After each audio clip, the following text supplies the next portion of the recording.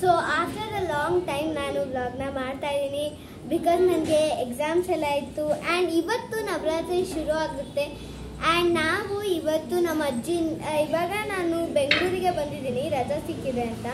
And ನಮ್ಮ ಅಜ್ಜಿ friends neighbours ಅವ್ರ ಮನೆಗೆಲ್ಲ ಗೊಂಬೆ ಇಟ್ಟಿದ್ದಾರಂತೆ. ಸೊ ಕರೆದಿದ್ದಾರೆ. ಸೊ ಅವ್ರ ಮನೆಗೆಲ್ಲ ಹೋಗೋಣ, ಬನ್ನಿ. ಇದು ನಾವು ಹೋಗಿದ್ದು ಫಸ್ಟ್ ಮನೆ. ಇದು ಅಜ್ಜಿ ಫ್ರೆಂಡ್ ಮನೆಯದ್ದು. ಇವ್ರು ತುಂಬ ಚೆನ್ನಾಗಿ ಕೂರಿಸಿದ್ದಾರೆ ಇವ್ರ ಹೆಸರು ಲತಾ ಆಂಟಿ ಅಂತ.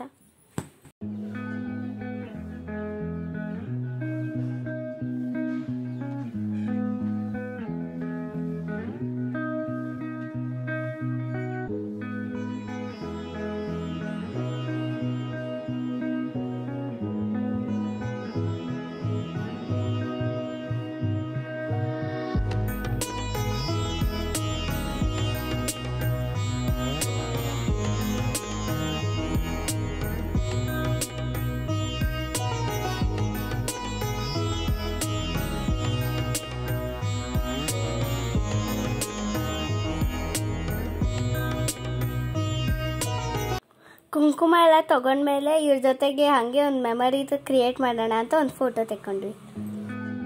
ಈಗ ನಾವು ಲತಾ ಆಂಟಿ ಮನೆಯಿಂದ ಸುರಭಾರತಿಗೆ ಹೋದ್ವಿ. ಅಲ್ಲಿ ಬೇರೆ ಬೇರೆ ಮಕ್ಕಳು ಬೇರೆ ಬೇರೆ ಆಗಿರುವಂಥ ಥೀಮ್ಸ್ನ ತಗೊಂಡು ಗೊಂಬೆಗಳನ್ನ ಕೂಡಿಸಿದ್ರು. ಅಲ್ಲಿ ನಮಗೆ ಗೊತ್ತಿಲ್ಲದೆ ಇರೋ ಕತೆಗಳನ್ನ ನೋಡೋಕ್ಕೆ ಒಂದು ಅವಕಾಶ ಸಿಕ್ತು ಮತ್ತು ಪೌರ, ನಮ್ಮ ಪೌರಾಣಿಕ ಕತೆಗಳನ್ನೆಲ್ಲ ನಾವು ನೋಡ, ನೋಡೋಕ್ಕಾಯಿತು.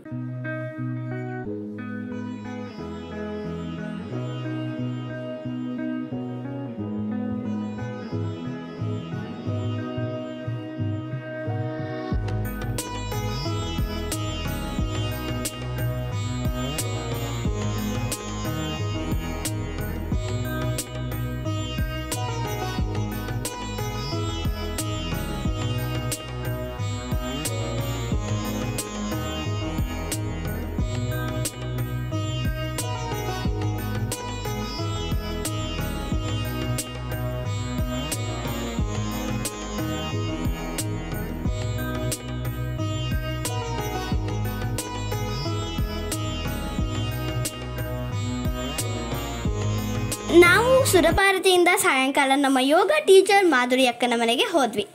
ಅಲ್ಲಿ ಥೀಮ್ ಏನಾಗಿತ್ತು ಅಂದರೆ ನಮ್ಮ ಭಾರತದ ಎಪ್ಪತ್ತೈದನೇ ಸ್ವಾತಂತ್ರ್ಯದ ಅಮೃತ ಮಹೋತ್ಸವದ ಥೀಮ್ ಅಲ್ಲಿ ಕೂರ್ ಥೀಮ್ ಆಗಿ ಯೂಸ್ ಮಾಡಿಕೊಂಡು ಅಲ್ಲಿ ಕೂರಿಸಿದ್ರು.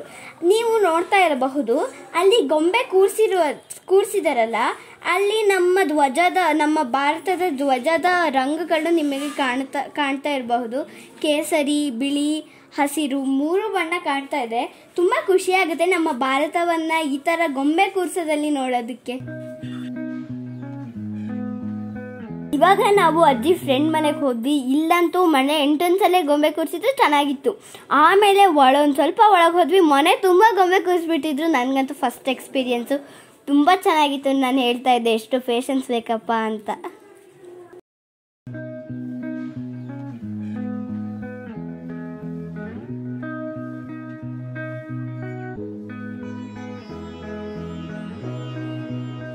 ನಾವೀಗ ಲಲಿತಾ ಆಂಟಿ ಮನೆಗೆ ಹೋಗಿದ್ವಿ. ಅವರು ಗೊಂಬೆನ ಚೆನ್ನಾಗಿ ಕೂರಿಸಿದ್ರು. ಅವ್ರ ಗೊಂಬೆಗಳಲ್ಲಿ ಕೃಷ್ಣಗಳೇ ಭಾಳ ತುಂಬಿತ್ತು. ಮುದ್ದು ಮುದ್ದು ಕೃಷ್ಣಗಳು. ಲಾಸ್ಟಿಗೆ ನಾವು ನಜ್ಜಿ ಸಂಸ್ಕೃತ ಟೀಚ್ ಟೀಚರ್ ಮನೆಗೆ ಹೋಗಿದ್ವಿ. ಅಲ್ಲಿ ದೇವಿ ಪೂಜೆ ಅವಾಗಿನೂ ಆಗಿತ್ತು. ಮಂಗಳಾರತಿ ಆಯಿತು. ನಾವು ಮಂಗಳಾರತಿ ಟೈಮಲ್ಲಿ ಹೋದ್ವಿ. ನಾವು ಗೊಂಬೆ ನೋಡಿಕೊಂಡು ನಮ್ಮ ದಸರಾನ ಹಾಗೆ ಖುಷಿಯಿಂದ ಮುಗಿಸಿದ್ವಿ.